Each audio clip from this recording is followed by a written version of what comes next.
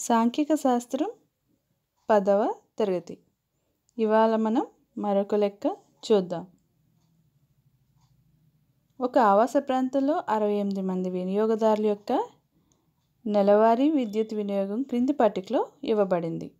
ఈ దత్తాంశనకు మధ్యగతం కనుగొనము. ఇచ్చిన దత్తాంశం ప్రకారం మనము పట్టికను వేసుకోగా పట్టికలో ముందుగా మనం పొందుపరచుకోవాల్సినవి నెలవారీ వినియోగం వినియోగదారుల సంఖ్య సంచిత పౌనఃపున్యము ఎక్స్ఐ యుఐ విలువలు ఎఫ్ఐయుఐ విలువలు. ఇక్కడ మనం వినియోగదారుల సంఖ్య మొత్తము మరియు ఎఫ్ఐయుఐ తాలూకా మొత్తాన్ని తీసుకుంటాం. మధ్యగత తరగతి దిగువ హద్దు మనకి నూట ఇరవై ఐదు. అలాగే ఎన్ బై రెండు ఈజ్ ఈక్వల్ టు ఇక్కడ ఎన్ అరవై ఎనిమిది కాబట్టి అరవై ఎనిమిది బై రెండు అనగా ముప్పై నాలుగు.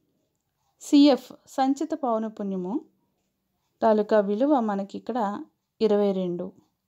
ఎఫ్ మధ్యగత తరగతి యొక్క పౌనపుణ్యము మనకి ఇరవై.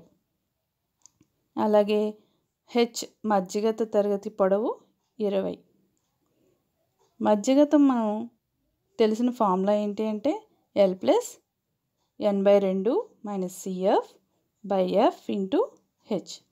ఇచ్చిన విలువలను అందులో ప్రతిక్షేపించగా నూట ఇరవై ఐదు ప్లస్ ముప్పై నాలుగు మైనస్ ఇరవై రెండు బై ఇరవై ఇంటూ ఇరవై.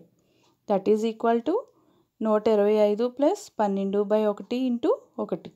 అనగా మనకి వచ్చే జవాబు నూట ముప్పై ఏడు యూనిట్లు.